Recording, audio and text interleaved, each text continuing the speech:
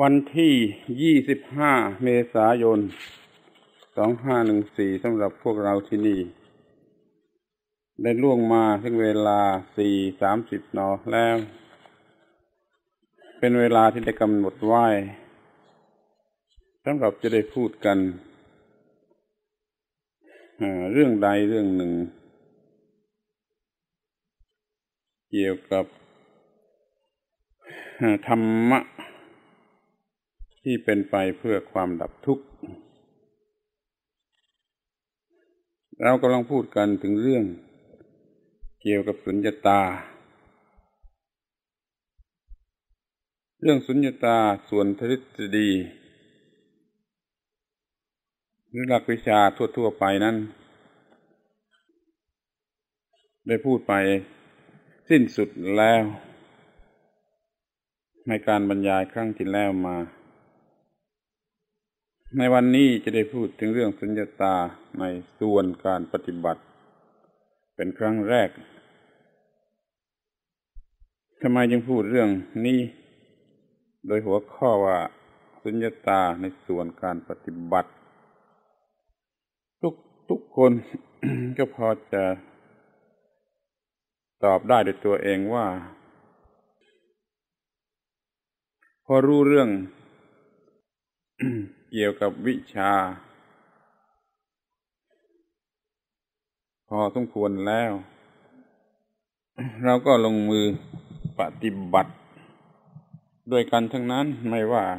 การงานใด ๆ เพราะว่า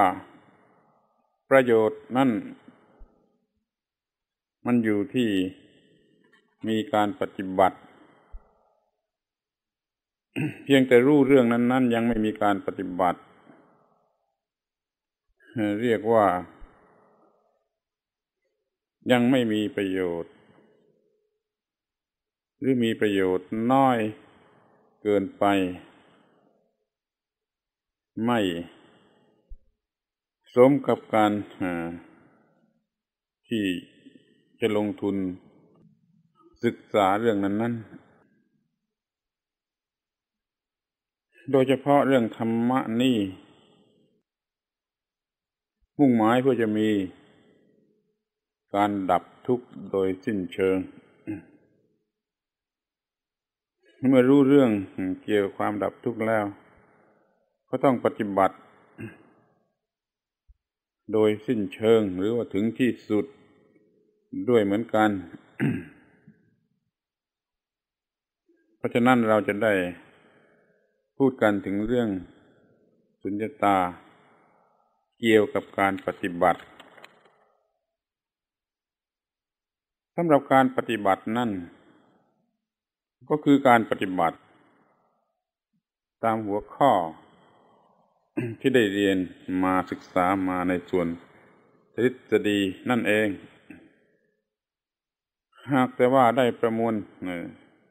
ส่วนทฤษฎีทั้งหลาย ข้าด้วยกันแล้วปรุงขึ้นเป็นหลักสำหรับปฏิบัติ ขั้นใดขั้นหนึ่งเป็นลำดับลำดับไป กว่าจะถึงที่สุด เพราะฉะนั้นการบรรยายในส่วนการปฏิบัติ มันก็ต้องพูดถึงเรื่องที่กล่าวแล้วในส่วนทฤษฎี หากแต่ว่าจะชี้เห็นว่ามันจะต้องปฏิบัติอย่างไร ในหัวข้อ นั่นๆเท่านั้นเอง ที่นี่หัวข้อใหญ่ของการปฏิบัติ ก็สรุปลงได้ในพระพุทธภาษิตที่ว่า เธอจงมีสติเห็นโลก โดยความเป็นของว่างอยู่เสมอ มีสติ ก็คือปฏิบัติให้มันมีสติขึ้นมา ในที่นี้ก็หมายถึงปัญญาหรือสัมปชัญญะ ที่เราสามารถทำให้มันทำหน้าที่ของมันได้ทันท่วงที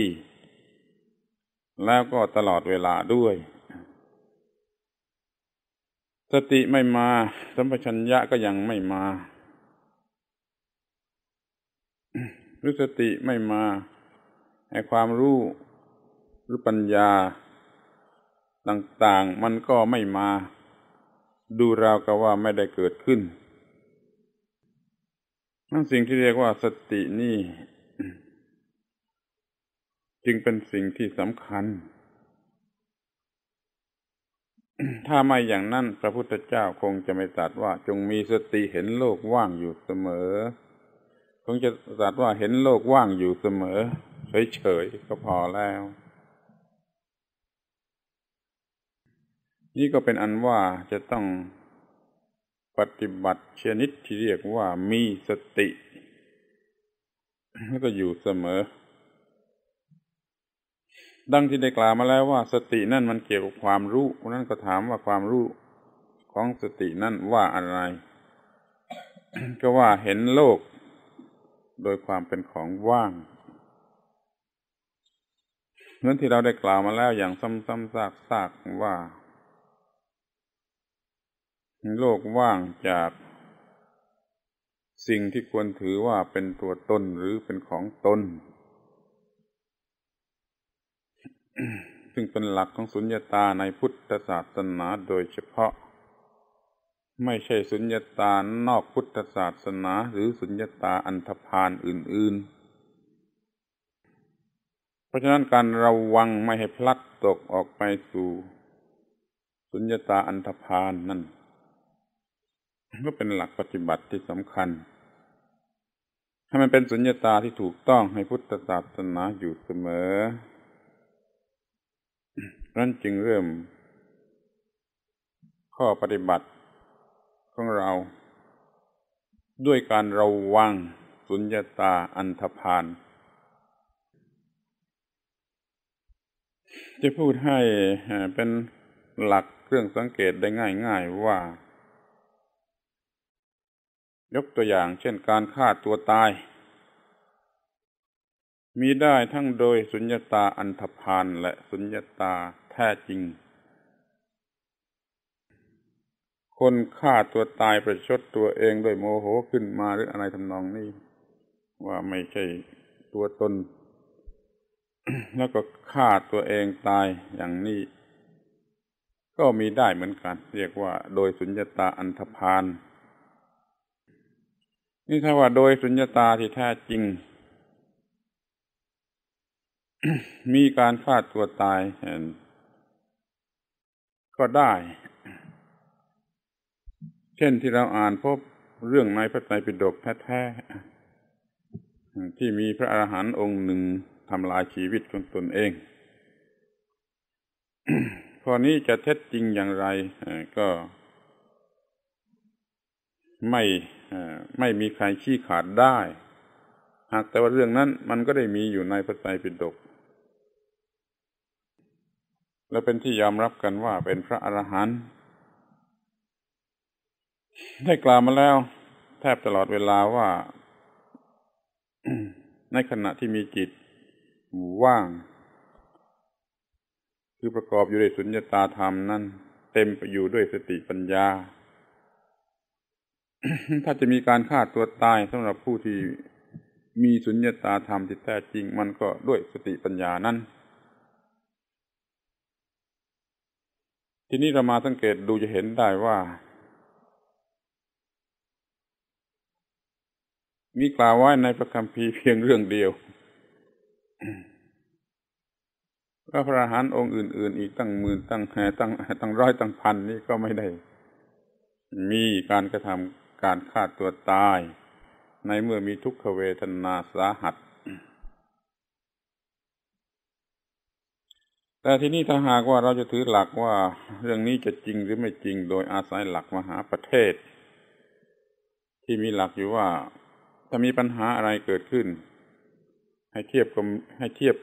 เปรียบเทียบกันดู กับกฎเกณฑ์ต่างๆ ที่เป็นกฎเกณฑ์ส่วนใหญ่ ทั้งในธรรมะและวินัยถ้ามันเข้ากันได้กับกฎเกณฑ์ส่วนใหญ่ มันก็ถือว่าถูกต้อง ถือเป็นหลักได้ ถ้ามันไม่เข้ากันก็ปฏิบัติก็บัตรก็ปัดออกไปว่ามันไม่ใช่หลักที่ถูกต้อง ที่เรื่องพระอาหารฆ่าตัวตายอย่างนี้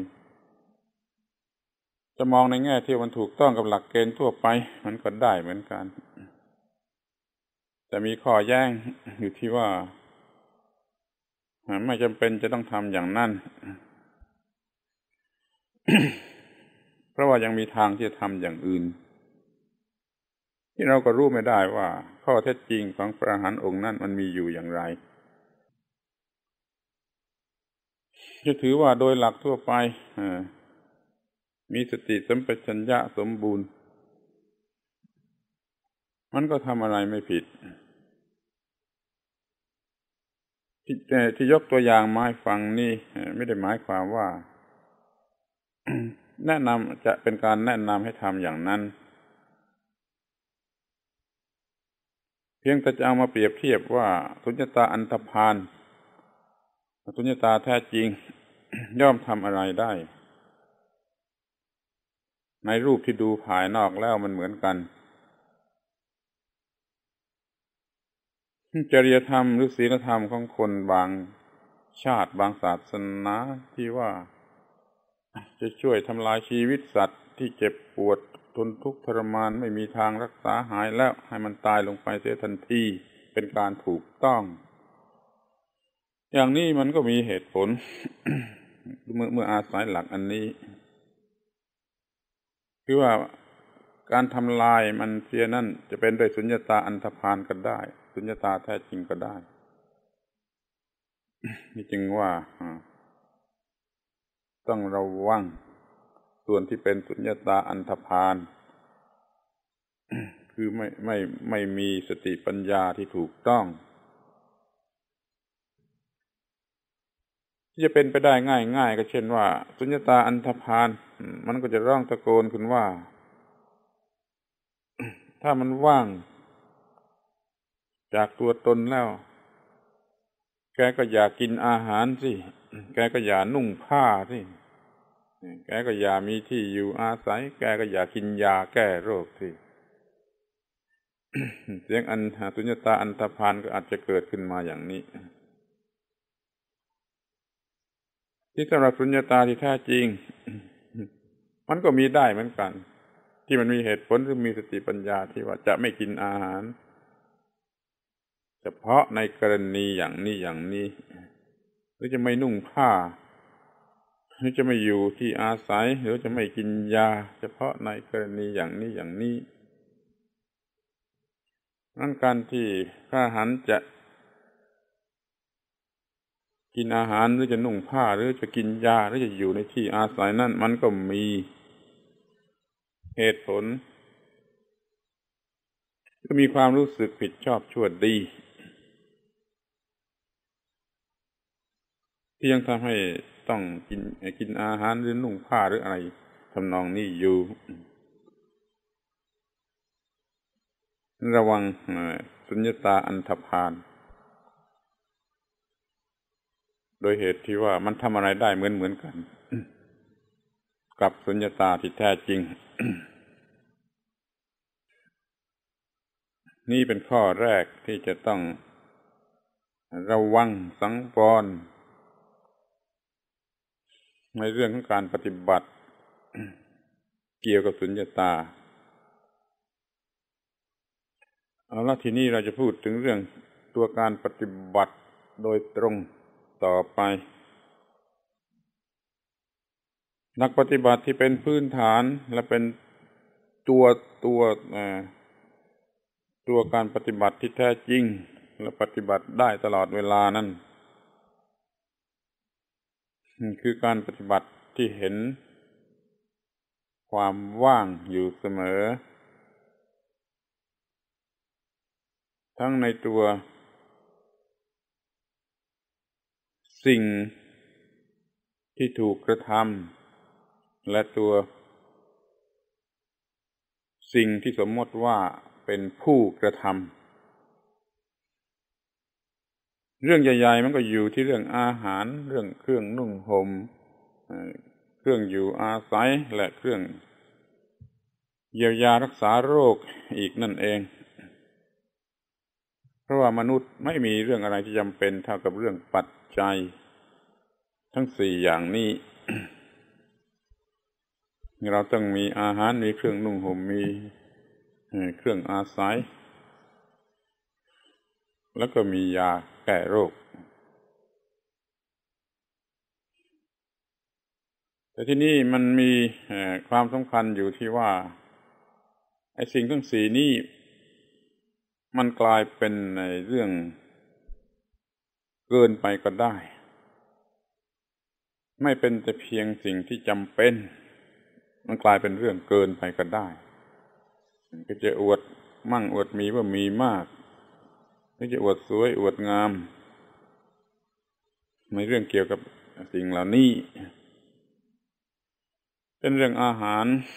เราก็จะมีให้มันมาก เราก็จะมีให้มันหรูหรา ศิลปะประดิษฐ์อาหารกำลังบ้ากำลังเฟ้ออยู่ในโลกนี้ รวมทั้งประเทศไทยด้วย ไม่เสียเวลาเรื่องนี้เกี่ยวกับที่จะ ก่อนที่จะไปเสียเวลาเรื่องความสงบสุขอันแท้จริง นี่มันก็เป็นโทษของการที่ไม่เห็นสิ่งที่เรียกว่า สุญญาตาเกี่ยวกับอาหาร นี่เครื่องนุ่งห่มก็เหมือนกัน ถ้าเท่าที่จำเป็นมันก็ไม่ยุ่งยากลำบากมากมายนัก แต่ถ้าต้องการให้มันมาก เพื่อเลือกเพื่ออะไรก็ตามใจแล้วให้มันสวยหรูหรา อย่างที่บ้ากันไปเป็นพักๆเป็นแฟชั่นอันหนึ่งมันก็มากมายเหลือประมาณนี่ที่อยู่อาศัยก็ทำนองเดียวกันและเท่าที่มันจำเป็นกับชีวิต แล้วมันก็ไม่ยุ่งยากลำบากเหมือนเดี๋ยวนี้หาเงินตลอดชีวิตก็แทบว่าจะสร้างบ้านให้เป็นที่พอใจตัวก็ยังไม่ได้ ทั้งที่จำเป็นความจำเป็นมันไม่มีมากเท่านั้น นิยาแก้โรคเหมือนกันต้องลำบากในข้อที่ทำให้มันเป็นเครื่องสำอางคือกลายเป็นของกินอร่อยชวนกินไปตำนองนี้ ในครั้งพุทธกาลใช้มูดคูดเท่าดินมูดคือกุจาระคูดคือปัสสาวะมูดคือปัสสาวะคูดคืออุจจาระแล้วขี้เท้าแล้วก็ดิน ประกอบขึ้นด้วยน้ำมูดเป็นหลักในตำนองนี้เป็นต้น เขาไม่มุ่งหมายไอ้ความสวยงามหรืออร่อยอร่อยของสิ่งที่เป็นยา ทีนี้ที่ว่าเห็นปฏิบัติให้เห็นว่างในสิ่งทั้งสี่นี้คือทั้ง ทั้งอาหารเครื่องนุ่งห่มที่อยู่อาศัยยานี่ มันยังไม่พอ มันต้องปฏิบัติให้เห็นว่างในตัวบุคคลผู้เข้าไปกินไปใช้ไปอะไรสิ่งเหล่านั้นด้วยจึงต้องปฏิบัติตามหลักที่เราสวดท่องกันอยู่ทุกวัน ที่ผมเรียกว่าหัวใจพุทธศาสนาที่ยื่นให้ตั้งแต่วันแรกเข้าวัดมาบวชนี่ คือยถาปัจจยังประวัตมานังธาตุมัตเมเวตังยะทิทางจีวรังตตุปปุญจโก จะปุคโลธาตุมัตตโก นิสตโต นิชีโว สุญโย ทุกคนจำได้ดีสวดท่องแปลอยู่ทุกวันนั่นคือทั้งหมดของการปฏิบัติเรื่องสุญญตาที่สำคัญที่จำเป็นที่สุด โดยเฉพาะอย่างยิ่งสำหรับบรรพชิตสำหรับคราวาสก็ต้องปฏิบัติอย่างเดียวกัน แต่ในอันดับที่มันลดลงไปหรือรองลงไป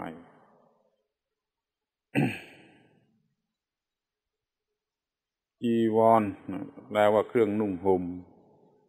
คำนี้ใช้ได้แม้แต่แม้แก่ เครื่องนุ่งห่มของคราวาสเครื่องนุ่งห่มของฤาษีชีไพรนะ เรียกว่าจีรังก็มีจีวรังก็มีเหมือนกัน คือแปลว่าเครื่องนุ่งห่มปกปิดกาย ไม่ไม่นุ่งห่มมันก็ลำบาก นุ่งห่มมากเกินไปมันก็บ้า เครื่องนุ่งห่มและผู้ทำการนุ่งห่มพาตุมัตตโก เป็นสักวธาตุตามธรรมชาติธาตุดินธาตุน้ำธาตุไฟธาตุลมอากาศธาตุวิญญาณธาตุแยกดูโดยความเป็นธาตุยถาปัจจยังปวัตมานังกำลังหมุนไปเปลี่ยนไปตามเหตุตามปัจจัยอยู่เนืองนิด ไม่มีอะไรคงที่เช่นจีวรเนี่ย มันมีความเปลี่ยนแปลงอยู่ในอนูในประมาณูของจีวรเหล่านั้นอยู่เนืองนิด ซึ่งจะเปลี่ยนแปลงไปสู่ความผุพังสีที่ย้อมจีวรหรือจีวรเองหรืออะไรก็ตามใจ เปลี่ยนแปลงไปตามเหตุตามปัจจัยอยู่เนืองนิด ไม่มีตัวมันเองที่คงทนถาวรที่จะต่อต้านความเปลี่ยนแปลงนี้ได้ นี่ตัวผู้นุ่งเครื่องนุ่งห่มนี่ก็เหมือนกัน เป็นสักว่าธาตุตามธรรมชาติ เป็นไปตามเหตุตามปัจจัยอยู่เนืองนิด ถ้าดูด้วยตาธรรมะ หรือว่าธรรมจักสุแล้วจะเห็นว่า ไอ้คนคนเราคนคนเราคนคนหนึ่งนี่มันมีการประกอบด้วยธาตุที่กำลังไหลเวียนเปลี่ยนแปลงอยู่อย่างน่ากลัวที่สุดในภายใน แต่ว่าละเอียดประณีตจนมองด้วยตาไม่เห็น ที่เห็นนั่นเป็นส่วนหยาบและส่วนที่เป็นช้าช้าไม่น่ากลัวเท่าไร หร่นี่สำคัญอยู่ที่บทว่า นิสัตโตไม่ใช่สัตว์ นิชีโว ไม่ใช่ชีวะ ไม่ใช่วิญญาณเยเจตพูด สุญโยว่างจากตัวตน นี่คือปฏิบัติทั้งหมดในพุทธศาสนาเกี่ยวกับเรื่องอนัตตาหรือสุญญาตา ปฏิบัติเกี่ยวกับเครื่องนุ่งห่มอย่างไรก็ปฏิบัติเกี่ยวกับอาหารอย่างนั้น ที่ที่อยู่อาศัยก็อย่างนั้น ยาแก้โรคก็อย่างนั้น นี่มันป้องกันความรู้สึกที่เป็นตัวตน ซึ่งเป็นที่ตั้งแห่งความรู้สึกที่เป็นทุกข์ ในเมื่อมันอร่อยหรือไม่อร่อย เมื่อมันสวยหรือไม่สวย มันสบายหรือไม่สบาย ตัวตนเกิดหลังจากความรู้สึกอร่อยหรือไม่อร่อยเป็นต้น คือจิตที่มันรู้สึกขึ้นมาว่ากูไม่อร่อย แล้วโกรธแล้วเกลียด ก่อนนั้นมันไม่มีจิตที่เป็นความรู้สึกอย่างนี้สิ่งที่เรียกว่าตัวตนนี่มันเกิดขึ้นหลังจากเวทนา อย่างใดอย่างหนึ่งเสมอไปนั่นมีความรู้เรื่องเวทนา ที่มันจะเกิดขึ้น เมื่อมีการกินอาหารการนุ่งห่มการอยู่อาศัยหรือการกินยาแก้โรค มีเวทนาเกิดขึ้นได้หลายอย่างหลายทางหลายชนิดล้วนแต่จะเป็นเหตุให้เกิดความรู้สึกที่เป็นตัวกูทั้งนั้น ตามหลักที่ว่าเวทนาให้เกิดตัณหา ตัณหาให้เกิดอุปาทานนั่นเนี่ยมันเริ่มตั้งคันที่ตรงนี้แล้ว อุปาทานเกิดพบเกิดชาติให้เป็นตัวกูโผล่มาคราวหนึ่งหนึ่งเมื่อเรามีอวิชมีอวิชชาต่อเวทนานั้นนั้นถ้าเรามีวิชาต่อเวทนาไอตัวกูก็ไม่เกิดหลักปฏิบัติที่แท้จริงที่สูงสุดที่สำคัญที่สุดอะไรมันอยู่ที่นี่ ราะว่าคนเราต้องกินอาหารต้องนุ่งห่มต้องอยู่อาศัยต้องเจ็บไข้ได้ป่วยอะอยู่เสมอ มันมีเรื่องเท่านี้ที่จริง แต่คนเรามันไปขยายออกให้มันมากไปจากเรื่องสี่เรื่องนี้ จนเป็นความทุกข์ที่คืบหน้าไป คืบหน้าไป คืบหน้าไป จนเป็นการแย่งชิงอย่างใหญ่หลวงคือสงครามมหาสงครามอันนี้นั้นถ้าตัดต้นเหตุที่นี่จะได้ความทุกข์ส่วนตัวหรือส่วนโลก ทั้งหมดก็ไม่มีปฏิบัติ เกี่ยวกับสุญญตา ในอาหารในเครื่องนุ่งห่ม ในที่อยู่อาศัยและในสิ่งที่เป็นการเยียวยารักษาโรค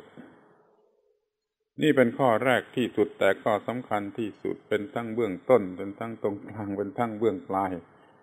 หมายความว่าเป็นพระอรหันต์กันได้ก็เพราะข้อนี้ถ้าจะอยู่เป็นพื้นฐานทั่วไปในโลกนี้ โดยไม่มีความทุกข์ก็ต้องข้อนี้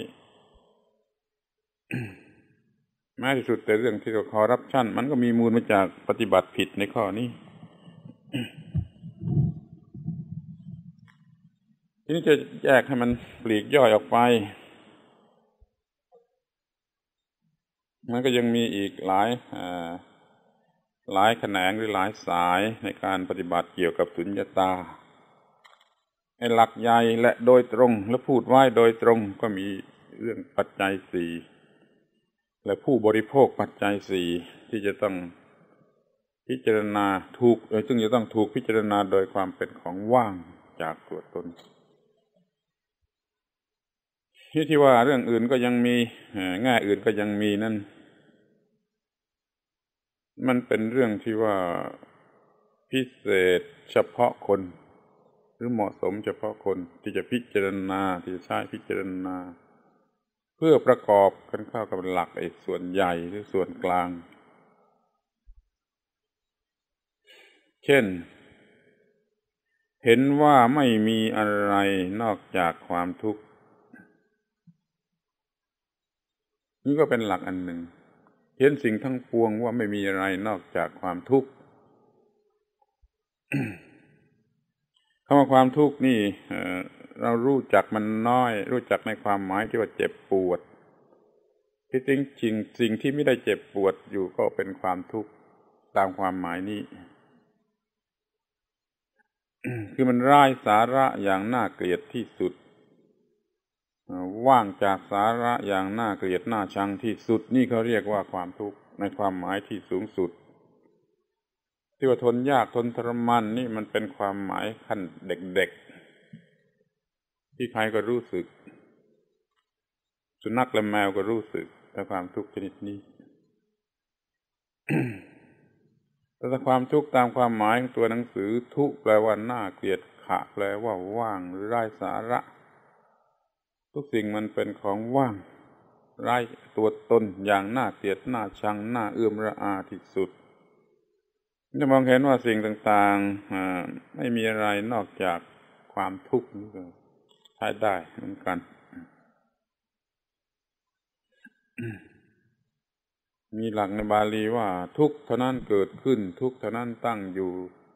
ทุกเท่านั้นดับไป นอกจากทุกแล้วหามีอะไรเกิดขึ้นไม่ นอกจากความทุกข์แล้วหามีอะไรดับไปไหมเป็นคำกล่าวที่มีชื่อเสียงของพระภิกษุณี แก่แก่ชราองค์หนึ่ง พระเทรีที่เป็นพระอรหันต์องค์นี้อยู่ไปจนแก่เท่า จึงพูดอย่างนี้ได้ เพราะว่าเห็นอะไรมาตลอดเวลา เห็นชีวิตแต่หนหลังมีแต่ความเกิดขึ้นตั้งอยู่ดับไปของอะไรของสิ่งที่เรียกว่าทุกข์นั้น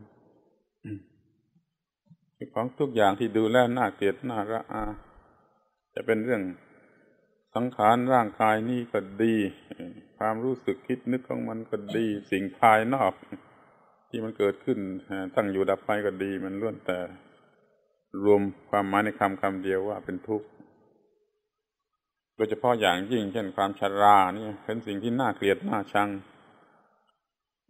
แต่ในความรู้สึกของพระหันนั้นไม่ไม่ไม่ได้รู้สึกเป็นทุกข์ พราะมีจิตใจเห็นความว่างของสิ่งเหล่านี้แล้ว แม้ว่าทุกขเวทนาจะเกิดขึ้นจะอาจจากทางใดทางหนึ่ง มันก็เป็นสิ่งที่เห็นเป็นของธรรมดาคือว่าเป็นเรื่องของไอ้สิ่งนั่นเองไม่ใช่ ของเราเพราะความรู้สึกที่ว่าเป็นตัวเรามันไม่อาจจะเกิดขึ้นอีก ก็ว่าเป็นของ สิ่งเหล่านั้นนั่นเองจึงใช้คำว่าสิ่ง ไม่มีอะไรที่เกิดขึ้นตั้งอยู่ดับไปนอกจากไอ้สิ่ง ที่เรียกว่าทุกข์เท่านั้น นี่มันมุ่งหมายใช่ดูในแง่ที่มันรุนแรง ออกไปแง่หนึ่งคือแง่ของความทุกข์ การปฏิบัติจึงตั้งหน้าตั้งตา มีสติสมัชัญญะที่จะมองเห็นมันในแง่ที่เป็นทุกข์ที่เป็นของทุกข์ก็ทำให้มองให้ให้มองเห็นโลกโดยความเป็นของว่างอยู่เสมอไปก็เหมือนกันได้เหมือนกัน เพราะไม่มีอะไรนอกจากไอ้สิ่งที่เรียกว่าทุกข์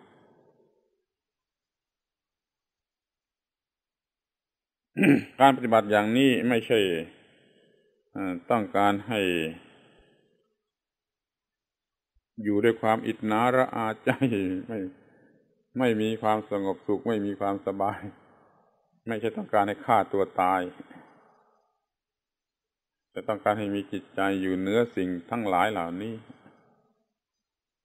อย่าให้มันสร้างความรู้สึกที่กระทบกระทั่งแก่จิตใจไม่ก็ปัดสองปัดของสกปรกหน้าเกลียดหน้าชังออกไปเท่านั้น อย่าเอาเข้ามา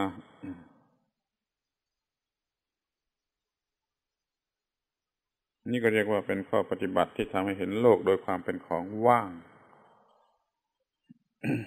เช่นเดียวก็เห็น เครื่องนุ่งห่มอาหารที่อยู่อาศัยยาแก้โรคและบุคคลผู้เข้าไปใช้มันนั่นเป็นสักว่าธาตุนี่ ทุกทุกอย่างในโลกก็เป็นของว่างไป คือตัวคนที่ผู้บริโภคก็ว่างไป ตัวสิ่งที่ถูกบริโภคก็ว่างไป ในโลกนี้มันก็ไม่มีอะไรตัวตัวผู้กระทำกับตัวสิ่งที่ถูกกระทำเป็นของว่างไป มันก็มีแต่แต่ของว่าง มีแต่ความว่าง ทีนี้เราจะเห็นความว่างในลักษณะที่น่าเกลียดน่ากลัวขึ้นขึ้นไปอีกก็คือใช้คำว่าทุกทุกแปลว่าน่าเกลียดขัง แปลว่าว่างทุกขัง แปลว่า ว่างอย่างน่าเกลียดน่าชังถ้าใช้ว่างตามธรรมดา มันยังไม่มีแรงพอที่จะให้เกิดความเบื่อหน่ายคลายกำหนัดใช้ว่างอย่างน่าเกลียดน่าชัง ที่นี่หลักอันอื่น ต่อไปอีกที่จะปฏิบัติ ก็คงจะมุ่งให้เกิดความเบาสบาย คือไม่อยากเห็นของน่าเกลียดน่าชังมากมายนัก ก็มีหลักที่เห็นความไหลเวียนเปลี่ยนแปลง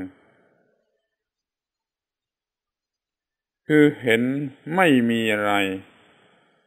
นอกจากการปรุงแต่งของธรรมชาติ มองดูในแง่ที่ว่าไม่มีอะไรเลย นอกจากการปรุงแต่งของธรรมชาติ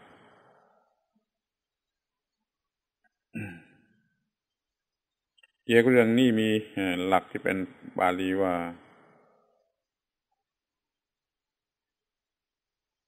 เป็นเพียงการเกิดขึ้นแห่งธรรมชาติล้วนๆ เป็นเพียงการสืบต่อของสิ่งที่ปรุงแต่งกันล้วนๆ มีสองประโยคเท่านั้น เป็นเพียงการเกิดขึ้นแห่งธรรมชาติล้วนๆ เป็นเพียงการสืบต่อของสิ่งที่ปรุงแต่งซึ่งกันและกันล้วนๆ จะพูดเป็นภาษาบาลีก็ได้ เดี๋ยวคุณจะลำบากยุ่งยากในการจดการจำมันก็เป็นคำกลอนที่เพราะมาก สุดทางธรรมะสมุปปันนังสุดทางสังฆารสันตติง เป็นคำกลอนในภาษาบาลีใจความของมันว่าไม่มีอะไรนอกจาก การเกิดขึ้นแห่งธรรมชาติล้วนๆการปรุงการสืบต่อ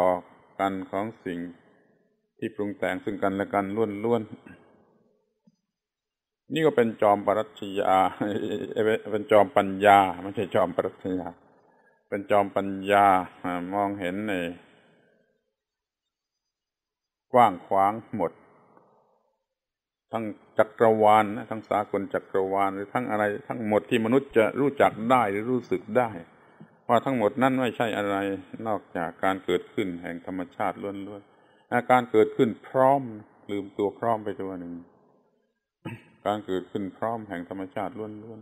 ๆสมุปปันนังแปลว่าเกิดขึ้นพร้อมเพราะว่าสิ่งเดียวเกิดขึ้นไม่ได้ต้องหลายสิ่งพร้อมเพียงกันทำการเกิดขึ้นมา นี่คือสากลจักรวาลที่เป็นเฟนอมมินาปรากฏแก่สายตาหูจมูกลิ้นกายใจของมนุษย์ ที่มองอีกแง่หนึ่งที่เรียกว่าเป็นเพียงการสืบต่อกันอย่างไม่หยุดหย่อนของสิ่งซึ่งปรุงแต่งซึ่งกันและกันล้วนๆนี่ก็ว่าสิ่งเหล่านั้นมันไม่ได้อยู่เฉยๆที่ว่าเกิดขึ้นแห่งธรรมชาติล้วนๆนะที่เกิดขึ้นมาได้เพราะมันกระทำแก่กันและกัน คือปรุงแต่งซึ่งกันและกัน อย่างคุณเรียนวิทยาศาสตร์บ้างก็รู้ว่าสาสารอะไรต่าง ๆ มันทำหน้าที่ปรุงแต่งกันอย่างไรเป็นธาตุขึ้นมาแล้วเป็น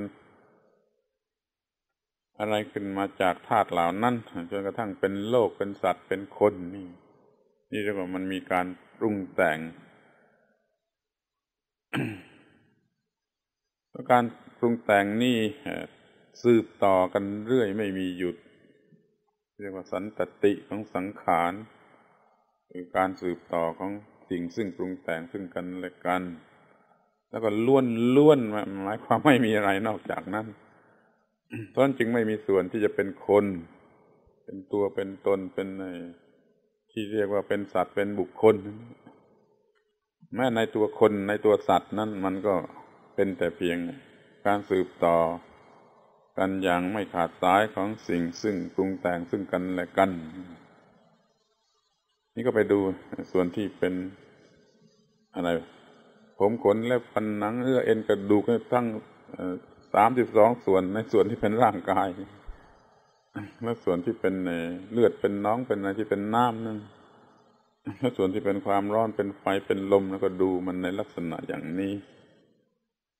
แล้วก็ดูออกไปถึงข้างนอกก็เหมือนกัน คนอื่นก็เหมือนกันสิ่งทั้งหลายที่มีชีวิตก็เหมือนกัน ก็เห็นเป็นเป็นเพียงการปรุงแต่ง ที่ปรุงแต่งซึ่งกันและกันโดยไม่หยุดไม่ย่อนสันตติคือสืบต่อกันไม่หยุดไม่ย่อนพระหันองค์หนึ่ง ถูกโจรมาคุกคามจากฆ่า เพราะความเกลียดชังเป็นส่วนตัวหรืออะไรทำนองนี้มันเอาอาวุธเอาอะไรมาพร้อมที่จะฆ่า พระหันองค์นั้นนั่งยิ้มเฉยอยู่นี่พวกโจรมันก็ชะงงักตกตะลึงทำให้อย่างนี้วะก็เลยอ้อนวอนถามท่านทำไมจึงไม่รู้จักกลัว ท่านก็บอกอย่างนี้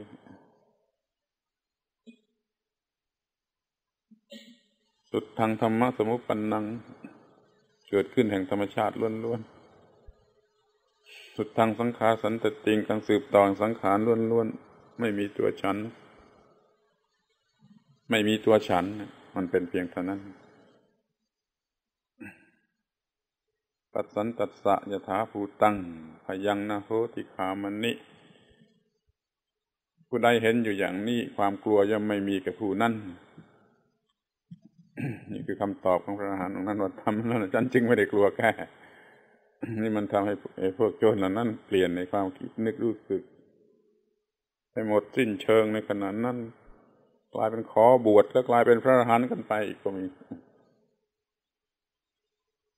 เนี่ยการเห็นสุญญตาในลักษณะอย่างนี้ มันมีเรื่องอย่างนี้ มันจึงมาใช้เป็นหลักปฏิบัติเกี่ยวกับสุญญตา ให้เห็นว่า มันงอกขึ้นมา ในลักษณะที่เป็นธรรมชาติปรุงแต่งกันล้วนๆเรื่อยไปนั่นเอง ไม่มีคนคิดว่าไม่มีตัวกูไม่มีของกู นี่เป็นข้อความที่มีอยู่ในพระไตรปิฎกเอง ในหนังสือชั้นหลังเช่นหนังสือวิสุทธิมรรคนี่ก็มีข้อความอย่างนี้ในรูปคำพูดอย่างอื่น เช่นว่า สุทธิธรรมาปวัตตันติ ธรรมชาติล้วนๆเท่านั้นที่เป็นไป อยู่ภวัตตันตินั่นเป็นไปทั่วอยู่คือว่า ที่มันกำลังเป็นไปเป็นไปเป็นไปทั้งหมดไม่หยุดไม่หย่อนนี่ไม่มีอะไรนอกจากธรรมชาติล้วนๆก็เพื่อจะไม่ให้มีความรู้สึกว่าเป็นตัวคน ตัวสัตว์ ตัวบุคคลเรียกธรรมชาติล้วนๆ แต่แล้วไอ้มนุษย์ที่มีอวิชชาเนี่ยมันเข้าใจว่าเป็นตัวฉัน เป็นตัวมัน เป็นตัวกู้นี่เห็นธรรมชาติล้วนๆ เกิดขึ้น ปรุงแต่งซึ่งกันและกัน ไม่มีหยุดไม่มีย่อน หัดหลับตาเห็นอย่างนี้ ตั้งแต่ประมาณูหนึ่งหนึ่งมาเป็นอนูหนึ่งหนึ่งมาเป็นธาตุแท้หนึ่งหนึ่งมาเป็นธาตุแท้หลายๆอย่างผสมกันเป็นธาตุผสมหนึ่งหนึ่งเป็นเซลล์ที่ประกอบกันขึ้นเป็นสัตว์เป็นคนเป็นอะไรอย่างที่เราเรียกเดี๋ยวนี้ ถ้าดูที่ความรู้สึกหลังจากที่เกิดเวทนาแล้วมันเป็นคน มันรู้สึกว่าเป็นคน ถ้าดู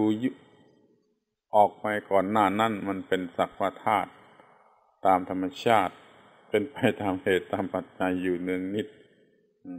นิสัตโตไม่ใช่สัตว์ นิชีโวไม่ใช่ชีวะ สุญโยว่าง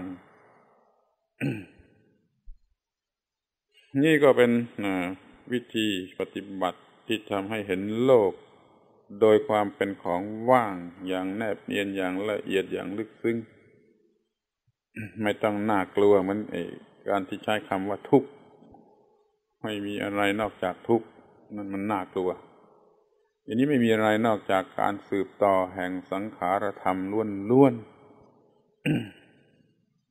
แล้วก็ได้ผลเหมือนกันคือมันทำให้มันว่างขึ้นมานั้นวิธีที่น่ากลัวก็มีวิธีที่แนบเนียนสงบเงียบก็มีที่นี้จะพูดถึง การปฏิบัติเกี่ยวกับสุญญตาที่มันละเอียด แล้วก็ฉับพลัน คือว่าต้องปฏิบัติในลักษณะที่ฉับพลัน ที่จะฉับมาปฏิบัติฉับพลันได้ด้วยข้อเท็จจริงของมัน เรื่องนี้คือเรื่องที่เรียกกันว่าปฏิจจสมุปบาทแต่ใจความสำคัญมันก็ไม่ต้องมีอะไรมากมาย คือการมองให้เห็นว่า สิ่งที่เรียกว่าคน สิ่งที่เรียกว่าตัวตนหรือว่าตัวกูเนี่ยเรียกว่าคนครั้งหนึ่งหนึ่งนี่ เกิดขึ้นเป็นครั้งคราวคือทุกครั้ง ที่อวิชชามันเกิดขึ้น มาทำงานทำหน้าที่ ในขณะที่มีการกระทบทางอายตนะเป็นบทนิยามที่ยืดยาวสักหน่อย แต่ว่าดีที่สุด คนเกิดขึ้น เมื่ออวิชชา เกิดขึ้นทำหน้าที่ ในขณะที่มีการกระทบทางอายตนะเราเข้าใจคำว่าการกระทบทางอายตนะก่อน นี่คือสิ่งที่มี ในชีวิตประจำวัน ตลอดเวลาแทบจะกล่าวได้ว่าทุกขณะ ทุกวินาทีทุกนาทีเลยการกระทบทางอายตนะคือสิ่งที่มีอยู่ตลอดเวลาในชีวิต ไม่ตาก็หูไม่หูก็จมูก ไม่จมูกก็ลิ้นไม่ลิ้นก็กายคือผิวหนังนี่จะมีการกระทบกับสิ่งข้างนอกคือรูปเสียงกลิ่นรสผลทพะ อยู่เป็นประจำแทบจะทุก นาที ทุกวินาทีเพราะมันเร็วมากมันทำได้เร็วมากมันการกระทบทางอาจนะเป็นสิ่งที่หลีกเลี่ยงไม่ได้ ไม่ว่าใคร ไม่ไม่ไม่ว่ามนุษย์หรือสัตว์เดรัจฉาน พอมีการกระทบทางอาจนะนี่มันก็มีปัญหาอยู่ว่าอะไรจะเกิดขึ้น คือสติสัมปชัญญะจะเกิดขึ้น หรือว่าอาวิชชาความปราศจากสติสัมปชัญญะจะเกิดขึ้นที่ตามปกติผู้ที่ไมิได้รับการศึกษาไม่ได้ฟังธรรมะของพระอริยเจ้า ไม่ได้ศึกษาเรื่องนี้ว่าสรุปความว่าไม่ได้ศึกษาเรื่องนี้ ก็เป็นธรรมดาอยู่เอง ไม่มีความรู้แล้วอวิชชาก็เกิดขึ้น ทุกครั้งที่มีการกระทบทางอาจนะ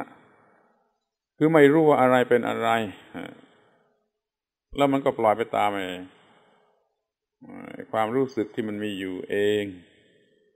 ตามธรรมชาติที่แวดล้อมมาตั้งแต่อ้อนแต่ออกจนบัดนี้ ข้อนั้นก็คือเมื่อมีการกระทบทางอายตนะแล้ว ภายในจิตก็มีการปรุงแต่งด้วย ด้วยความไม่รู้ว่าอะไรเป็นอะไรเนี่ย มันก็ปรุงแต่งออกมาเป็นรูปของอความรู้สึกที่ รักหรือที่เกลียดมีสองอย่างเท่านั้น ถ้ามันเป็นสุขเวทนามก็รักแต่เป็นทุกขเวทนา มันก็เกลียดไอ้ที่มันเฉยเฉยไม่มีค่าไม่มีความหมาย ก็ไม่ต้องพูดถึง มันมีค่าอยู่ที่ว่าให้สุขหรือให้ทุกข์ ถ้าทางตาก็ว่ามันสวยหรือไม่สวย ถ้าทางหูก็ไพเราะหรือไม่ไพเราะ ทางจมูกก็ว่าหอมหรือเหม็น ทางลิ้น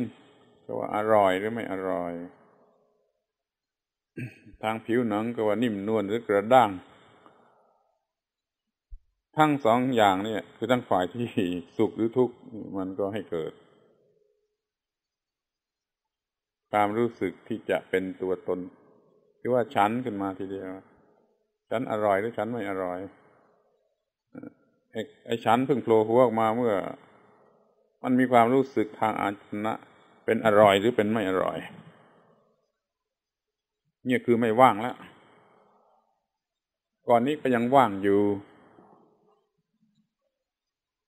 พออันนี้เกิดขึ้นก็ไม่ว่างแล้ว นี่เรื่องปฏิจจสมุปบาทนั่นเขาชี้ให้ดูอย่างละเอียด โดยแบ่งออกเป็นตั้งสิบเอ็ดตอนหรือสิบสองตอน ว่าจิตมันมีพฤติอย่างไร จึงเกิดความรู้สึกเป็นตัวกูของกูขึ้นมาได้นี่มันจึงมีอวิชชาสังขารวิญญาณนามรูปอายตนะผัสสะเวทนาตัณหาปาทานภพชาตินี่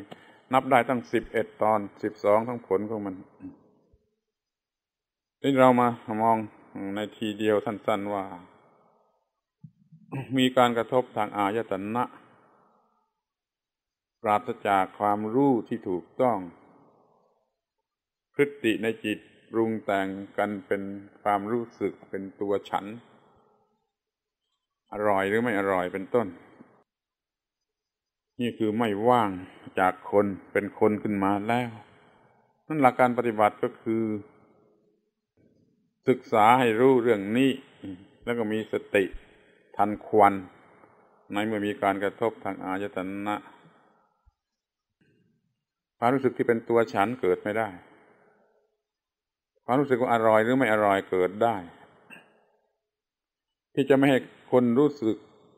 ว่านี่อร่อยหรือไม่อร่อยนี่ เป็นไปไม่ได้แม้แต่พระอรหันต์ก็รู้ว่านี่สวยหรือไม่สวย นี่เพราะหรือไม่เพราะนี่หอมหรือเหม็น นี่แม้แต่พระอรหันต์ก็มีความรู้สึกได้ แต่ว่าหลังจากนั้นแล้วมันแยกทางกันเดินพอจมูกมันกระทบเหม็นนี่ไอ้คนบุตุชนมันก็โกรธมีความรู้สึกเป็นความโกรธพอโกรธความรู้สึกที่เป็นความโกรธคือความไม่ไม่ชอบไม่เนี่ย มันก็ มีความรู้สึกที่เป็นฉันโกรธ แต่ไม่ต้องเรียกว่าฉัน มันเป็นความรู้สึกว่ากูโกรธ มันก็ต่างกันอยู่ที่ว่าถ้ามันมีการปรุงแต่ง ไปโดยอวิชชาแล้วมันก็มีฉันนี่ถ้าอาวิชชาไม่อาจจะเกิดมันมีวิชาอยู่ มันก็เป็นธรรมชาติ กลายเป็นธรรมชาติตามธรรมดาว่า กลิ่นอย่างนั้นนั่นอย่างนั้นสมมติพระอรหันต์ได้กลิ่นเหม็นนี่มันก็ว่ากลิ่นเหม็นตามธรรมชาติ ซึ่งมันเป็นอะไรอย่างหนึ่ง ซึ่งมันเป็นตามธรรมชาติ แล้วมันมีกลิ่นเหม็นแม่เหม็นก็จะเป็นไปตามธรรมชาติ แม่หอม ก็เป็นไปตามธรรมชาติ เมื่อมันไม่มีเรื่องที่เกี่ยวข้องกับเราก็ไม่รู้ไม่ชี้เมื่อร่างกายทนไม่ได้ มันก็ลุกหนีไปก็ได้ โดยไม่ต้องอึดอัดขัดใจเป็นกูเม็นแล้วก็เดือดพล่านอยู่ข้างใน ส่วนคนธรรมดามันก็เดือดพล่านอยู่ข้างใน เป็นตัวกูที่โกรธที่อะไรพระทหารก็มีความรู้สึกว่ามันธรรมชาติ ที่เป็นอย่างนั้นถ้าทนไม่ไหวก็ลุกเดินไป ไม่ต้องมีความอึดอัดขัดใจอะไร มันเป็นส่วนของร่างกายที่รู้สึกเหม็น ไม่ใช่ส่วนของตัวกู แต่ถ้าเป็นของบุตรชนคนธรรมดาแล้วมันเป็นตัวกูทั้งนั้น มันเป็นยักษ์เป็นมารขึ้นมา นี่อาศัยหลักปฏิจจสมุปบาทอย่างนี้ก็ทำให้มันเป็นเทคนิคที่ละเอียดรัดกุมอะไรขึ้นมาอีกในการที่จะทำให้เห็นความว่าง หรือปฏิบัติเพื่อความว่าง เมื่อตะกี้ได้กล่าวถึงคำว่าธรรมะสมุปปนัง การเกิดขึ้นพร้อมแห่งธรรมชาตินี่คืออันนี้คือคือเรื่องปฏิจสมุปปฏิจจสมุปบาท การเกิดขึ้นพร้อมแห่งธรรมชาติคือปฏิจจสมุปบาทฝ่ายสมุทัยวานนับตั้งแต่พอกระทบทางอายตนะ แล้วปรุงปรุงปรุงปรุงปรุงจนเป็นตัวกูของกู คือธรรมะสมุปปนนัง เกิดขึ้นพร้อมแห่งธรรมชาติ แล้วการปรุงนี้ไม่หยุด จึงมีบทว่า สุดทางสังขารสันตติง การสืบต่อแห่งสิ่งที่ปรุงแต่งซึ่งกันและกันล้วนๆ ถ้าเราฉลาดในเรื่องนี้มันก็ปฏิบัติได้แยบคายลึกซึ้งมากและอย่างอย่างนักปราชญ์ปฏิบัติที่จะตัดเอารุ่นรุ่นว่าทุกทั้งนั้นไม่มีอะไรทุกทั้งนั้น ทุกเท่านั้นที่เกิดขึ้นตั้งอยู่ดับไป ดูกันง่าย ๆ อย่างนี้ก็ได้เหมือนกัน คือว่าไม่มีเทคนิคพิถีพิถันอะไร แต่มันจะเป็นได้ก็เฉพาะผู้ที่มองเห็นโลกมานาน จึงจะกวาดทิ้งออกไปหมดได้ทั้งสากลจักรวาล ว่าไม่มีอะไรนอกจากทุกข์เท่านั้น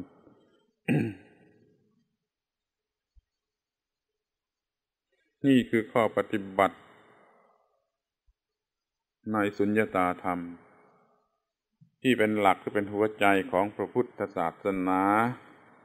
ไม่มีเรื่องนี้แล้วไม่มีพุทธศาสนา มันมีศาสนาอื่น